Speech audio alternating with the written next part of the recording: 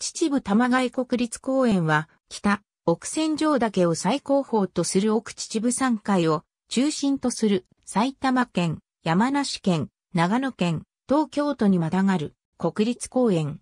面積12万6259ヘクタール。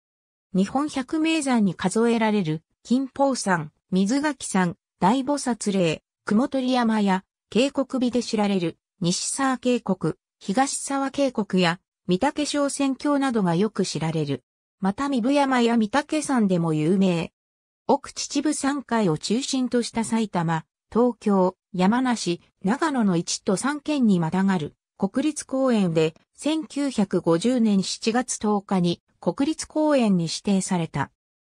指定当初より秩父多摩国立公園の名称であったが、同公園の指定エリア12万6259ヘクタール中の約37%、46,834ヘクタールと最大の面積を占める山梨県の名称が関されていないことから名称変更の要望が山梨県により行われ2000年8月10日に現在の秩父玉貝国立公園に名称が変更された。